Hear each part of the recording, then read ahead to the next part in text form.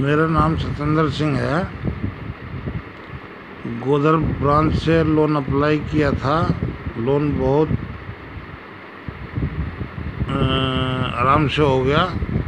उसके लिए हम मैनेजर साहब को धन्यवाद देना चाहता हूँ।